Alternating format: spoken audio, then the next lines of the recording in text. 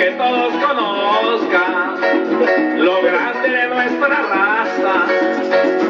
Raza con sangre de indio entre español y mulata, no me avergüenzo decirlo. Por el contrario me agrada. Claro que este no es mi tema, pues mi tema es otra vaina y es la discriminación que otros países nos marcan diciendo que solo somos narco, guerrillo y piratas, pero están equivocados panorama y miran otro punto el valor que nos consagra. No van a creer que nosotros vamos a hacerlo de Ruana, que tenemos que pagar lo que otros vengan y hagan para que nuestro país